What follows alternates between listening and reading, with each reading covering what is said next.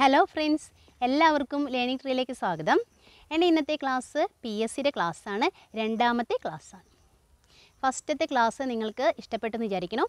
രണ്ടാമത്തെ ക്ലാസ് എന്ന് പറയുന്നതും പി എസ് സിയുടെ ക്ലാസ് തന്നെ പതിനഞ്ച് ക്വസ്റ്റ്യൻസ് ആണ് ഇതിൽ ഉള്ളത്.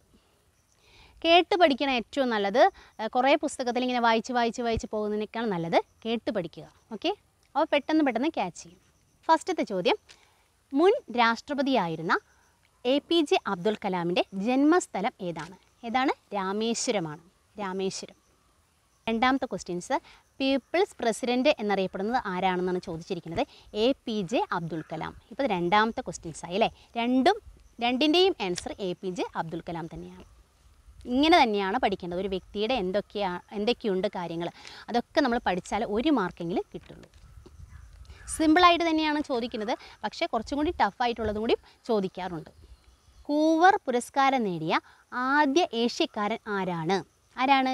A P J Abdul Kalam. ഇപ്പോൾ മൂന്നാമത്തെ ക്വസ്റ്റ്യൻസ് കിട്ടി അല്ലേ? ഇങ്ങനെ തന്നെ പഠിക്കണം നിങ്ങൾ ഓക്കെ രണ്ട് പ്രാവശ്യമെങ്കിലും നിങ്ങൾ എന്ത് ചെയ്യണം? ക്വസ്റ്റ്യൻസ് വായിച്ചു നോക്കണം. അത് ഞാൻ ഫസ്റ്റത്തെ ക്ലാസ്സിൽ പറഞ്ഞു തന്നിരുന്നു അല്ലെങ്കിൽ തെറ്റും. A P J Abdul Kalam അന്തരിച്ച സ്ഥലമാണ് ചോദിക്കുന്നത്. അന്തരിച്ച സ്ഥലം എന്താണ്? ഷില്ലോങ് മേഘാലയ എന്ന സ്ഥലത്ത്. ഷില്ലോങ് മേഘാലയ. നേടിയ വർഷമാണ് ചോദിക്കുന്നത്. ആയിരത്തി തൊള്ളായിരത്തി തൊണ്ണൂറ്റി ഏഴ് പി. ജെ. അബ്ദുൽ കലാം ആരംഭിച്ച ഈ ന്യൂസ് പേപ്പർ ഏതാണെന്നാണ് ചോദിക്കുന്നത്? Billion beats. എന്താണ്? Billion beats. ഇമ്പോർട്ടന്റ് ക്വസ്റ്റ്യൻസ് ആണ്. നമ്മൾ സിമ്പിളായിട്ട് പഠിച്ചു പോകും. പക്ഷേ അതിന്റെ കൂടെ തന്നെയുള്ള ക്വസ്റ്റ്യൻസ് കൂടി നിങ്ങൾ ഉൾപ്പെടുത്തിക്കൊണ്ട് തന്നെ പഠിക്കുക. Questions A P J Abdul കലാമിന്റെ പേരിൽ യൂത്ത് അവാർഡ് ഏർപ്പെടുത്തിയ സ്ഥലം ഏതാണ് ചോദിക്കുന്നത്?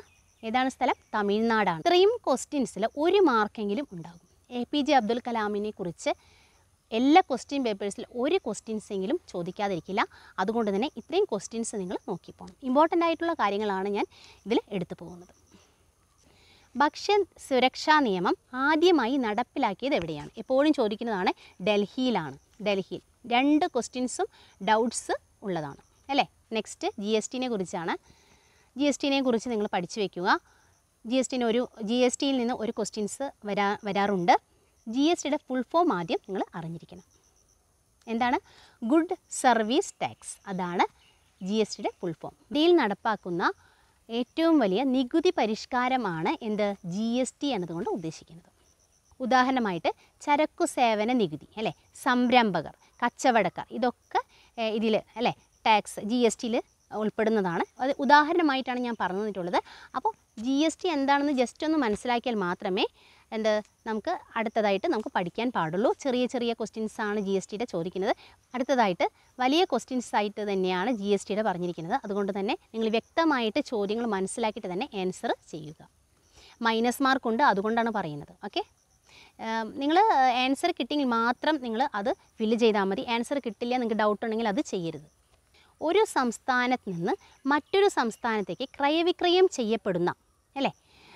ചരക്കുകൾക്കും സേവനങ്ങൾക്കും എന്താണ് ചരക്കുകൾക്കും സേവനങ്ങൾക്കും മേൽ ചുമത്തപ്പെടുന്ന നികുതി മേൽ ചുമത്തപ്പെടുന്ന നികുതി. അതിന്റെ പേരാണ് ഐ ജി എസ് ടി. ഇത് വെറൈറ്റി ക്വസ്റ്റ്യൻസ് തന്നെയാണ്. കാരണം ഇത് ചോദിച്ച ക്വസ്റ്റ്യൻസ് അല്ല ഇങ്ങനെ ചോദിക്കാത്ത ക്വസ്റ്റ്യൻസും ഉണ്ടാകും. അപ്പോൾ കുറച്ചും കൂടി ഇമ്പോർട്ടന്റ് ആയിട്ട് ക്വസ്റ്റ്യൻസ് ആണ് ഞാൻ തിരഞ്ഞെടുത്ത് തരുന്നത്. നന്നായിട്ട് പഠിക്കണം. അടുത്തതായിട്ട് ജി എസ് ടിയുടെ തന്നെയാണ്. G S T counselling chairperson ആരാണെന്ന് ചോദിക്കുന്നത് കേന്ദ്ര ധനമന്ത്രിയാണ്. അതും ഇമ്പോർട്ടന്റ് ആയിട്ടുള്ള ക്വസ്റ്റ്യൻസ് ആണ്. അപ്പോൾ ജി എസ് ടിനെ കുറിച്ച് തന്നെ കുറച്ച് കാര്യങ്ങൾ പഠിച്ചു. അതുപോലെ തന്നെ എ പി ജെ അബ്ദുൽ കലാമിനെ കുറിച്ച് നമ്മൾ പഠിച്ചു. അപ്പോൾ ഇത് ഇതുപോലെ പഠിച്ചാൽ മാത്രമേ നമുക്ക് ഒരു റാങ്കിൽ കയറാൻ പറ്റുള്ളൂ. അടുത്തതായിട്ട് ആനന്ദ സിദ്ധാന്തം എന്ന ആശയം ഉടലെടുത്ത രാജ്യം ഏതാണെന്ന് ചോദിച്ചിരിക്കുന്നത് ഇംഗ്ലണ്ടാണ്. ഉടലെടുത്ത രാജ്യം ഇംഗ്ലണ്ട്. സെഫോളജി എന്ന പദം ഉപയോഗിച്ചത് ആരാണ്? R B McCallum. ഇതൊരു പ്രത്യേക ഒരു വെറൈറ്റി പേരായതുകൊണ്ടാണ് ഞാൻ ഇതിലിട്ടിരിക്കുന്നത്. നന്നായിട്ട് നിങ്ങൾ വായിച്ച് വായിച്ച് നിങ്ങൾ ഈ ക്ലാസ് കാണുമ്പോൾ തന്നെ നിങ്ങൾക്ക് മനസ്സിലാകും. അപ്പോൾ രണ്ട് മൂന്ന് പ്രാവശ്യം നിങ്ങൾ ഒന്ന് റിപ്പീറ്റ് ചെയ്ത് പഠിക്കുക. എന്റെ ഈ ചെറിയ വീഡിയോ ഇഷ്ടപ്പെട്ടിട്ടുണ്ടെങ്കിൽ ലൈക്ക് ചെയ്യുക ഷെയർ ചെയ്യുക. അതോടൊപ്പം തന്നെ പുതിയ ആരെങ്കിലും കാണുന്നുണ്ടെങ്കിൽ സബ്സ്ക്രൈബ് ചെയ്യുക. തൊട്ടടുത്തുള്ള ബെലൈക്കൺ കൂടി എനബിൾ ചെയ്യുക. എന്നാലേ നിങ്ങൾക്ക് അടുത്ത നോട്ടിഫിക്കേഷൻ കിട്ടുകയുള്ളൂ.